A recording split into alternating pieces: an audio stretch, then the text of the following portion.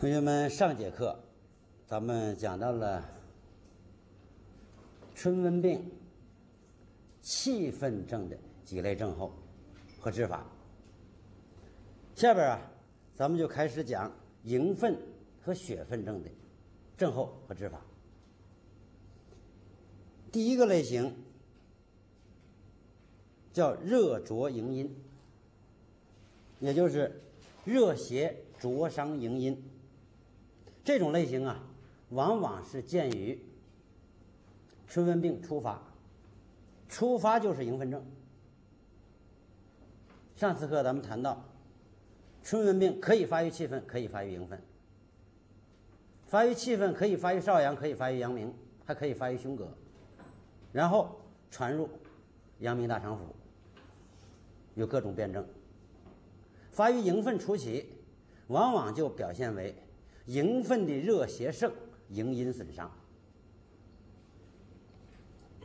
他的临床表现：身热夜甚，心烦躁扰，甚或时有沾瘀，斑点隐隐。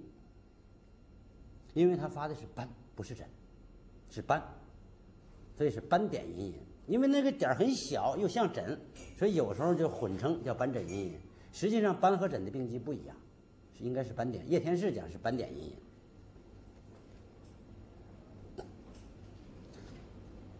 口反不甚可，或静不可，舌红绛，苔少或者是无苔，红绛舌少苔或无苔，脉象细数。为什么会出现这些表现？首先说身热，因为它是。内有热邪呀，正邪相争，所以身热。它是持续发热，而且是高热。但是夜间加重，夜间比白天更热，因为人体的胃气昼行于阳，夜行于阴。所谓行于阳，就是行于表。人体活动的时候需要消耗阳气，所以胃气大量调动到体表来，供给活动的需要。夜间静止状态下。尤其是睡眠，不需要那么多阳气，阳气就潜藏于里，因为它本来就阴虚，阴阳就不平衡，阳气大量入里之后，阴不制阳，所以热势加重。白天三十九度，夜间四十度，为什么高了一度？阴不制阳，阴阳不平衡，由于体内有热。又有迎阴的损伤，所以他心烦燥扰不寐，睡不着觉，烦躁，甚至于沾雨、乱动、坐卧不安。两个原因，一个是心阴不足，不能藏神；再一个热邪的扰动，阴虚热扰，心不藏神，心神外越。但是因为它还轻，所以呢，它是时有沾雨，不是完全昏迷。由于热邪损伤了小的血络，再加上破血妄行，可以导致出血。但是因为营分症，它毕竟还轻，所以呢，仅仅是有少量的散在的隐隐约约的斑点。这个叶天士描述的呀，很很准确，少量、散在、隐隐约约，不很明显。那如果说大面积的发斑，斑点密集，那就不是迎分症，是血分症。那迎分可不可以发斑呢？可以，因为它也是血脉中有热呀，灼伤血络、破血妄行可以有，但是它轻，所以仅仅是斑点隐隐，不会大量的发斑，出血量不会多。口不渴和气愤症比较，是病情加重的表现，因为热邪深入到营分，它就蒸成营阴，把血中的津液蒸上来了，所以口反而不感到渴了。实际上病情是加重，它部位深了，舌红绛，是因为热邪消耗了血中的津液。血液浓缩，血粘稠了，浓度大了，所以它颜色就深了。这可不是充血，这是阴伤。因为血中津液不足，胃阴是肯定不足，所以呢，它舌苔很少，或者就光降无苔，没有苔了。脉数是因为有热，细是因为阴伤。所以通过他这一系列的表现呢，咱们可以看出来，这是个实症还是个虚症？是由实致虚。由于热邪盛，而在伤阴，是虚实夹杂，但是虚是由实导致的。治疗，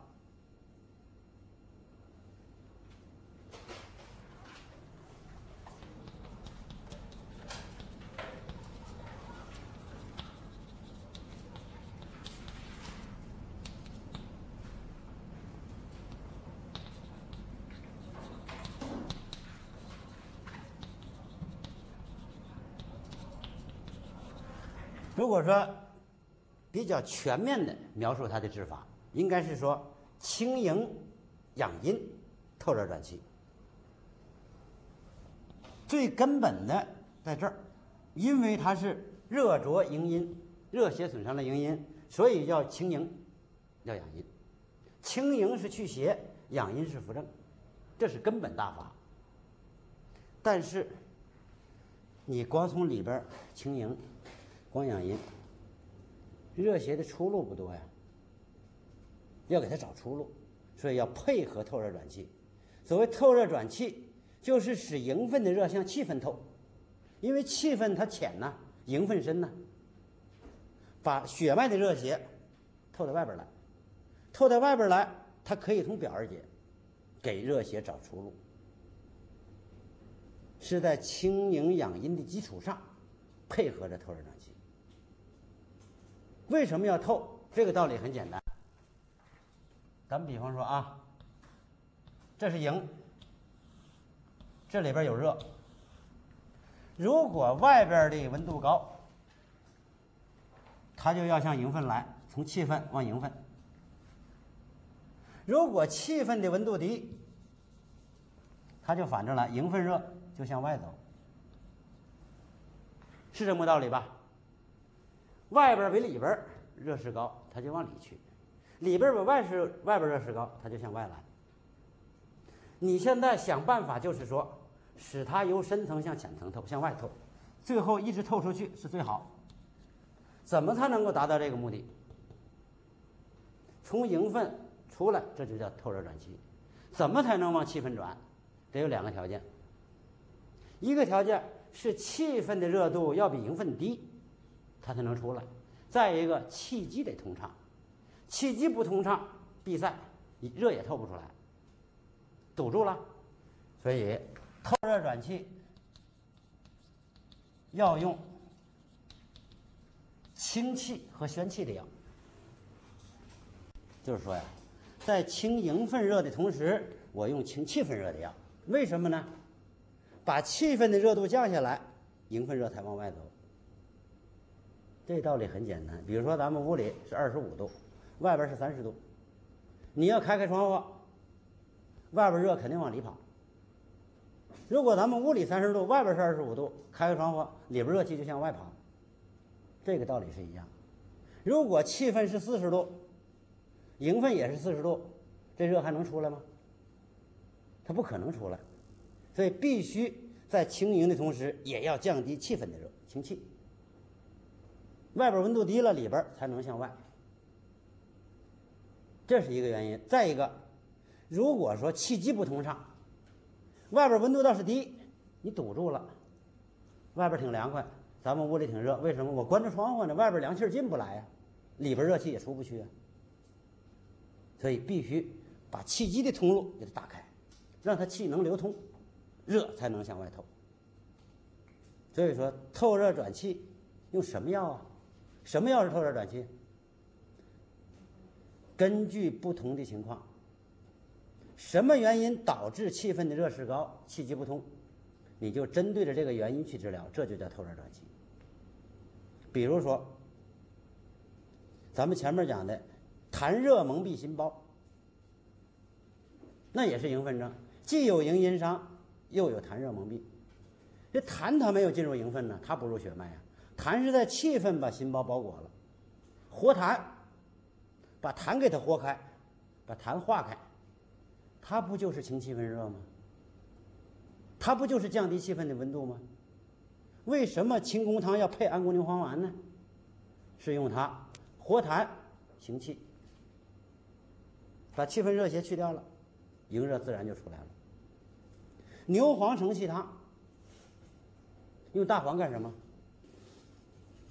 是因为大肠里边有燥结，大肠的气分呢，所以它昏迷解除不了。你把大肠的燥结给它攻下去了，用大黄给它通下去了，腑气就通了，气机通畅了，腑里边热也出去了，温度降低了，气机通畅了，营热不就透出来了吗？所以大黄也能透热转气啊。这个透热转气的方法很，就是说针对着病情，凡是阻碍气机，导致气分热势不降的，你只要是。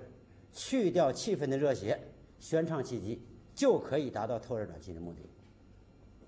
范围很广，药也不固定。那么具体到这个症候来讲，它既没有痰，又没有大便燥结，它是无形的热。所以看它怎么治疗。首先说凉营养阴的药，犀角、生地。玄参、丹参、麦冬、犀角咸寒清心凉营，当然是君药。它入血分呢，凉血就凉营啊，能够清心营的热，这是君药。现在用水牛角代替。生地、原参、麦冬，这不增液汤吗？生地甘寒，原参甘咸寒，麦冬甘寒。甘咸寒的药既能够清营热，又能够滋养营阴，它是两用，既清热又滋阴。丹参微苦寒，它是凉血活血的药，因为啊营分有热邪，当然要凉血了。正因为有热邪而导致血液凝聚了，所以舌降啊。用点丹参呢，活动活动血脉，使血液流畅。用的是活血药，它既能凉血又能活血。用竹叶、银花、连翘，透热转气。银花、连翘、竹叶，它既能透表。又能清气，这三个药都是气分的药，它们能够清气分的热邪，使气分的热势降低，营分热就自然向外来了，使营热外透，透到哪儿呢？透到气分，再透到胃分，从体表而散，散热。因为气分没有有形的实邪，它就是无形的热盛，所以就用这三个药透就可以。你如果有痰，用它们就不行了。有痰就得加化痰药，通过化痰来透热转气。这里边啊用了一个黄连，为什么？也是用它来清气，清心经气分的热。黄连不入营啊，它清心经气分的。如果说。气分热不明显，把黄连去掉。吴继通在《文明条辨》里边说：“口渴者用黄连，口不渴去黄连。”就说清营汤啊，可以有黄连，也可以没黄连，有它没它都叫清营汤。就比如说气分热势还比较盛，加它可以清气。怎么知道呢？口渴，口渴而又营营热阴伤，那么就增加清气的药，加黄连。如果说口不渴了，那说明营热很重了，消耗阴阴很严重，气分热不明显，就用莲花、连翘、竹叶就行了，把黄连去掉，因为它燥，苦燥伤阴。这个药在这儿可用也可不用。如果初期还兼有表症，是由心感所诱发的，建议解表。风寒加葱汁，松脂汤；风热本身就有银花连翘，可以再加点薄荷、牛蒡、豆豉透一透。那这个方剂啊，它的组成很好，既清心凉营，又养阴又透热。这是治营热阴伤的一个代表方剂。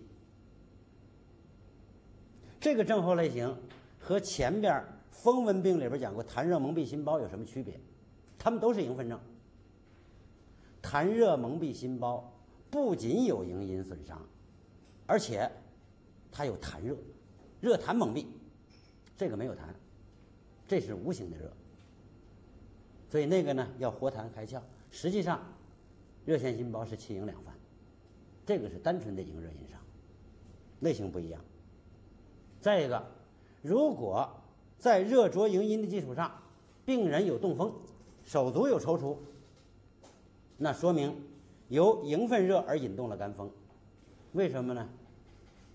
营热就是血脉中有热呀，血脉中有热，肝主藏血呀，它自然热就进入肝，肝热筋挛，就可以动风。治疗。仍用清营汤，因为它以营热为主，是营分热引动了肝风，波及到肝，重点不在肝，清营就能凉肝，但是因为肝已经热了动风了，治疗呢就要加上凉肝息风的药，在清营汤里加入羚羊角、钩藤、菊花。羚羊角咸寒，钩藤辛寒，钩藤是寒药，菊花甘寒。凉肝息风，或者是用清营汤送服止血，止血，止血凉肝息风作用很好啊。临床上常用呢，配上止血。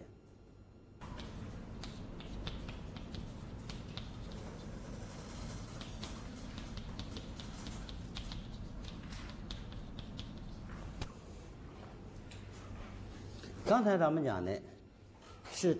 单纯的营分热，营阴伤，有没有这种情况？气分也有高热，营分也有高热，既有气分高热损伤肺胃的津液，又有营分的热损伤了营阴，有这种情况，这叫气营两烦。什么临床表现？那当然了，气分有气分的表现，营分有营营分的表现呢。壮热口渴。口大渴，高热，是不是气分热症？又有烦躁不安，主要看舌，舌降苔黄燥，脉数或者细数。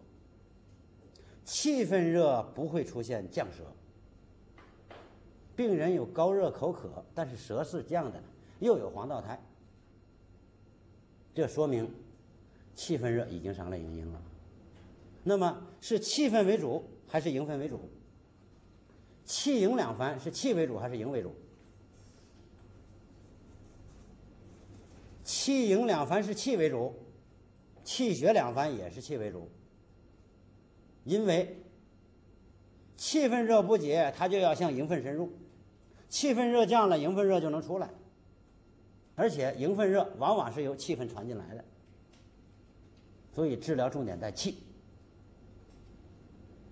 而且它临床表现也以气为主，壮热口渴是气热津伤，伤的肺胃津液；烦躁说明热扰心营，营热扰心；舌降是营阴损伤的突出表现，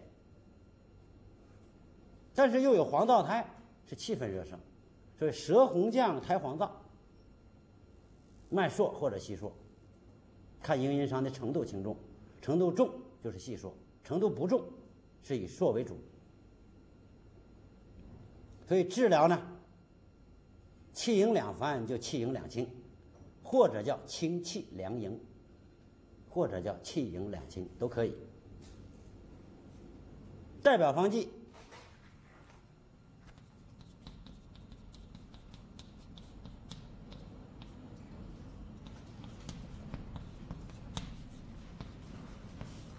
加减玉女间，那就说这个方剂是玉女间加减。玉女间原方是什么药？玉女间是张景岳的方，它是治肾阴虚、胃热盛，什么方？石膏之母，这清胃热呀。还有什么？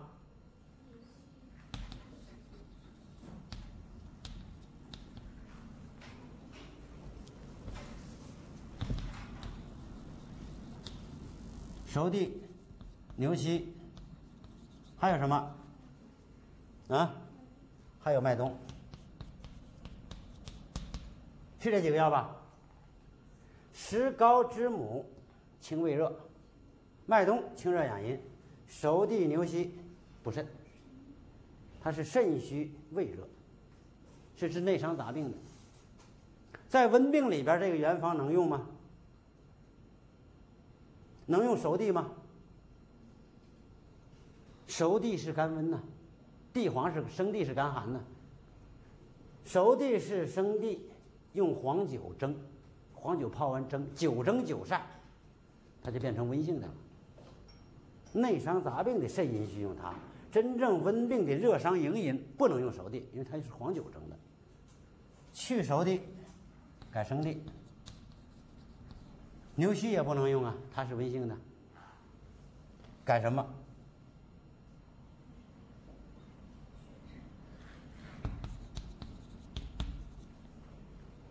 这就叫加减玉女间。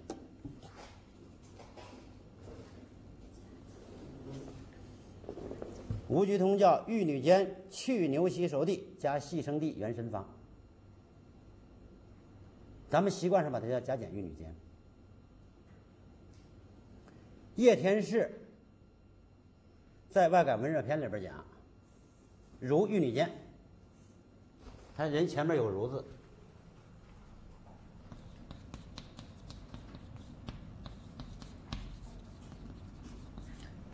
这个唐本唐大炼那个本就把‘如’字去掉了。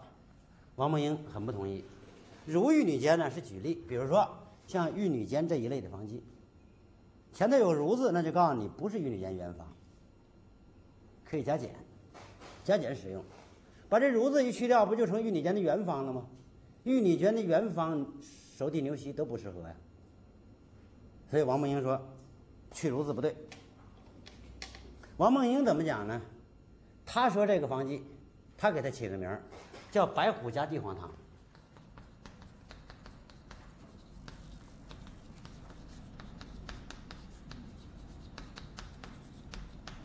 伤寒论》里面没有这个方啊，《伤寒论》里边白虎汤加减有白虎加桂枝汤、白虎加苍术汤、白虎加人参汤，加人参加苍术加桂枝都可以，没有白虎加地黄汤，因为《伤寒论》里边没有热伤营阴的症，所以他没有这个方。王梦英说，他把这个方叫白虎加地黄法，也叫白虎加地黄汤。大家看他说的有没有道理？石膏之母不就是白虎汤吗？主要成分都有了，君臣药都有了，加一味地黄。为什么强调地黄？因为地黄是入营分的。用白虎汤、石膏之母来清热生津，清气分的热，生肺胃的津液。用生地黄。来凉营、清营热、滋养营阴。原参嘛是配合地黄的，滋阴清热。这这加减玉女煎呢，实际上就是白虎汤的君臣药主要成分加上增液汤，对不对？原参生地麦冬嘛，就是增液汤。增哪儿的液呢？增血中的津液，这里边主要是地黄。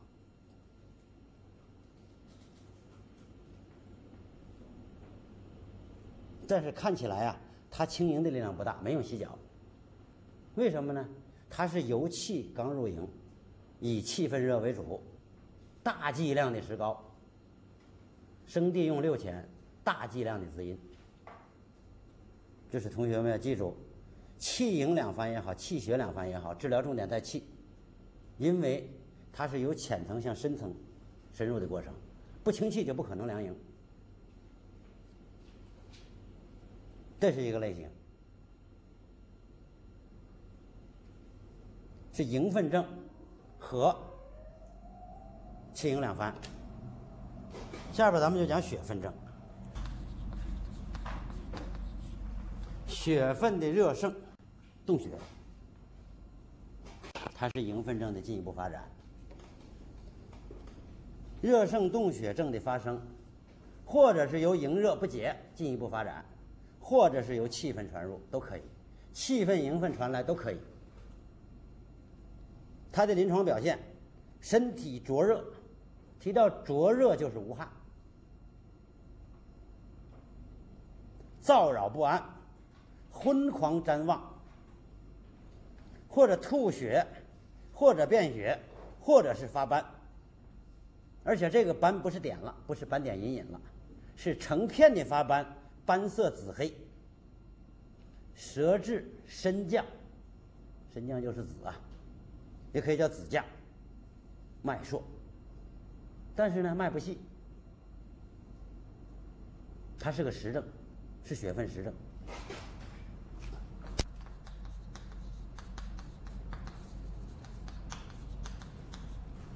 它主要是血脉里边热盛，灼伤血络，破血妄行。那当然了，血液向外流，它不虚吗？另外，热邪动血同时不消耗血中津液吗？不耗血吗？都有。但是在这个时刻，在他出血这个时刻，刚刚出血，还是以热邪盛为主，所以叫血分实症。这个实是相对的，不是绝对的实。但是呢，它没有明显虚的表现，就是热势很高，高热烫手，因为它邪很盛。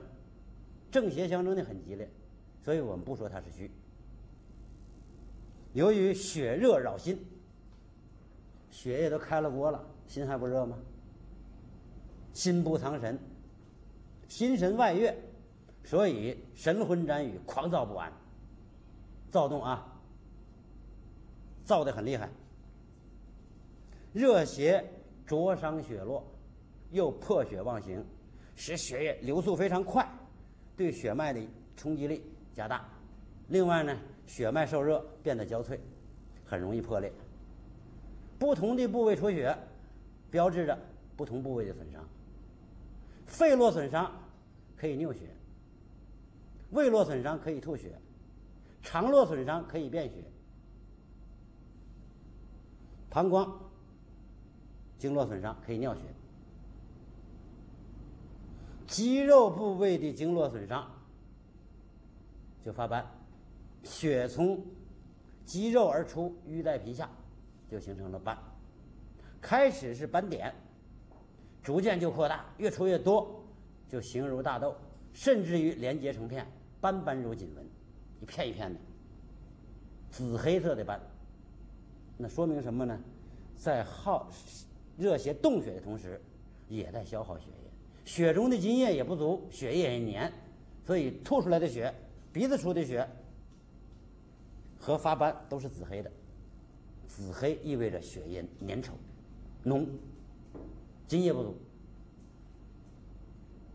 舌紫绛，颜色很深呢，也意味着血液粘稠、热盛津伤，和那个发斑、吐血、衄血那个颜色是一致的。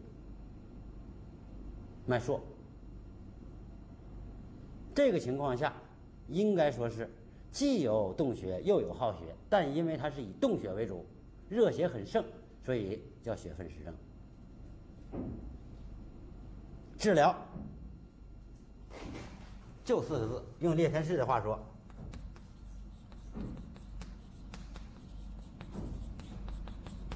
凉血散血。什么叫凉血？这个“凉”是使动词。咱们中医里边治法里边啊，用使动词机会特别多。清热的清就是使动词，凉血的凉也是使动词，燥湿的燥也是使动词，就是使血凉。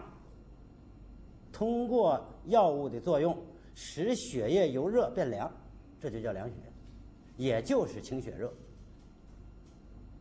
散血呢，是使淤血消散。怎么使淤血消散？同学们考虑一下。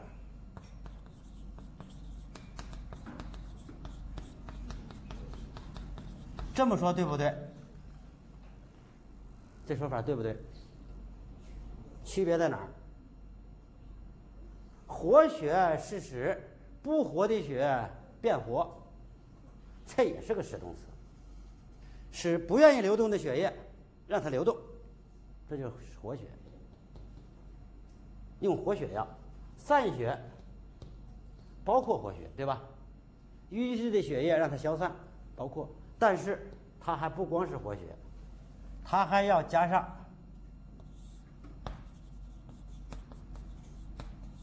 养阴的药，不是补血药。养阴不是血补血，叶天士所说的救阴不在血，不是补血，而在津与汗，是要补充血中的津液。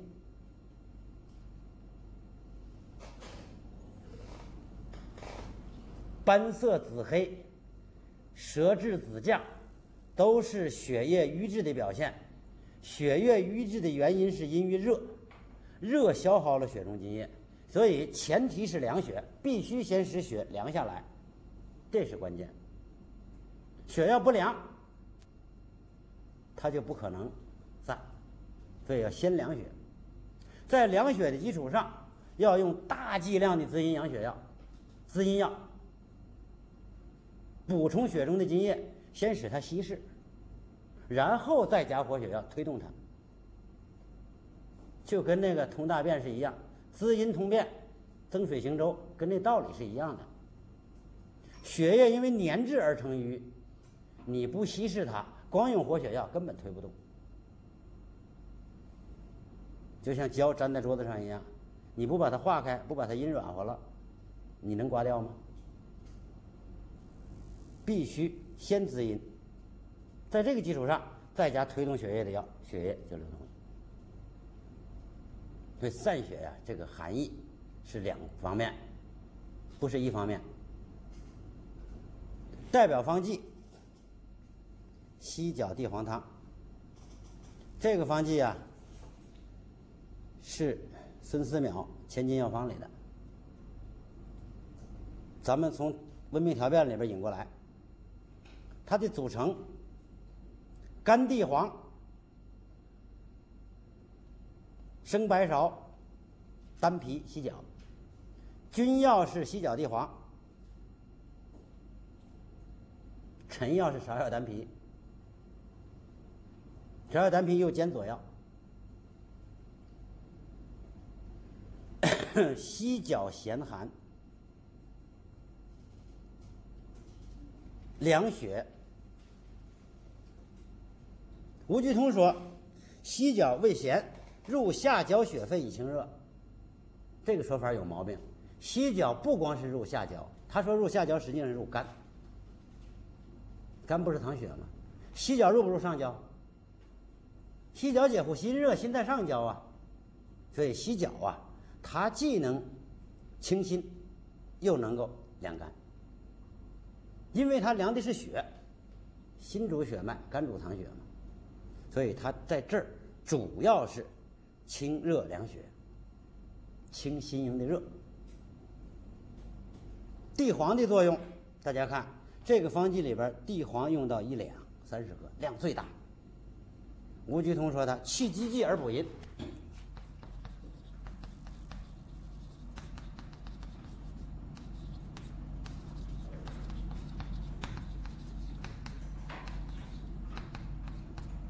这句话是什么意思？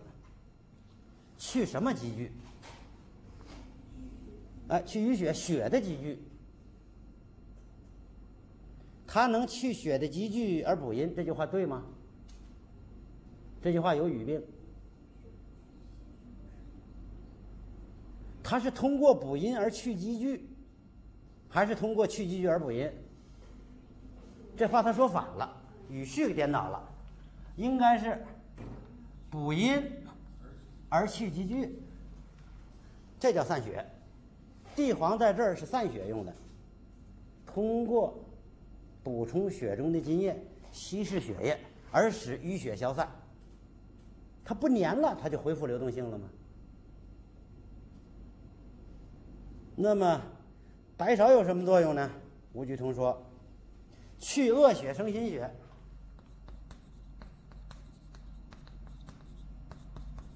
恶血指的是什么呢？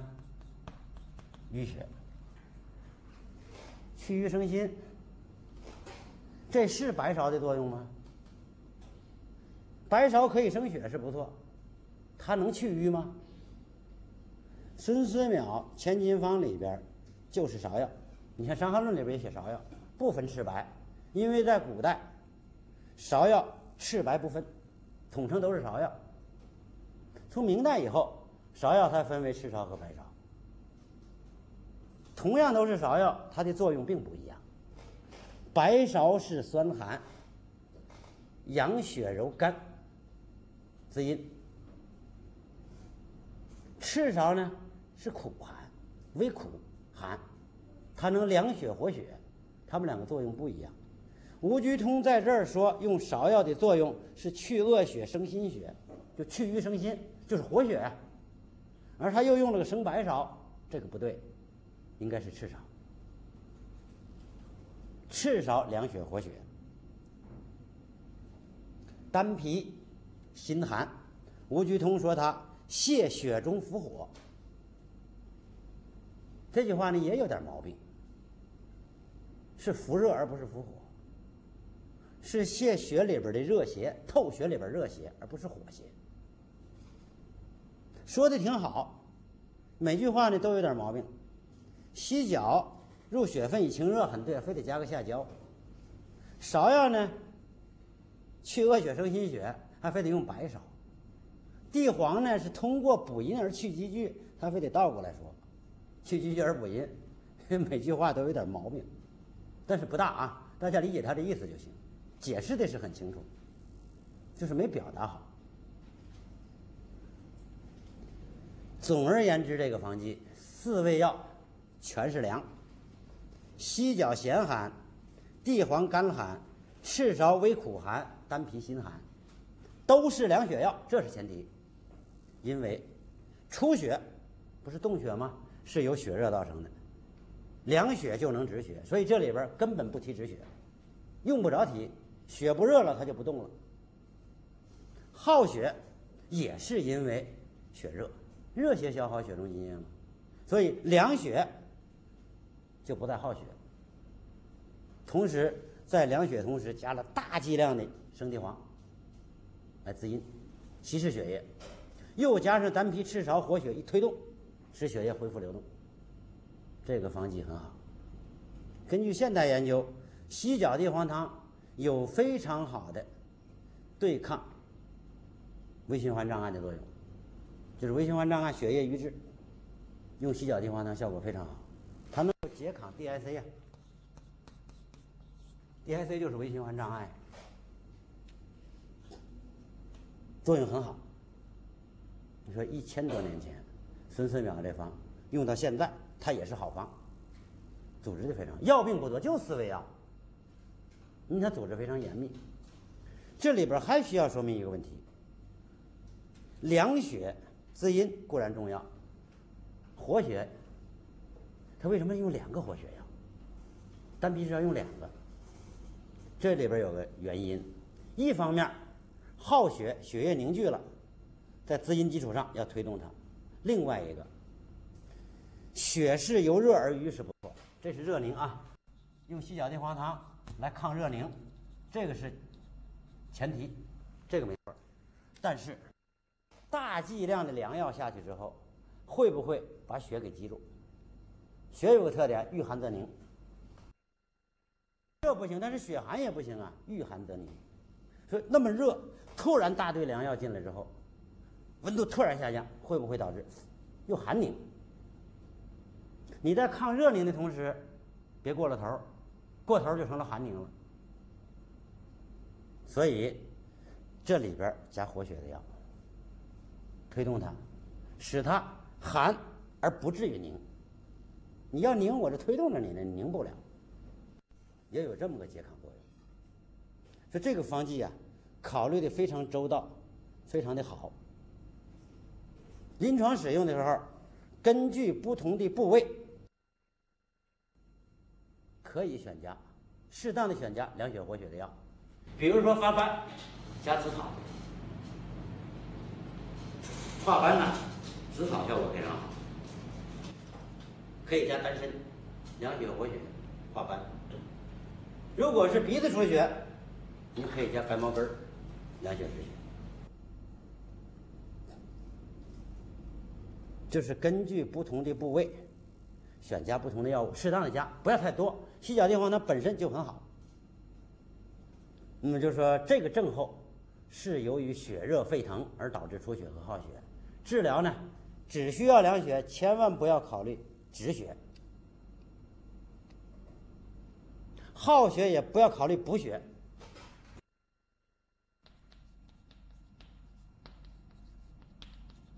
这两个方面都不要提，一提就错。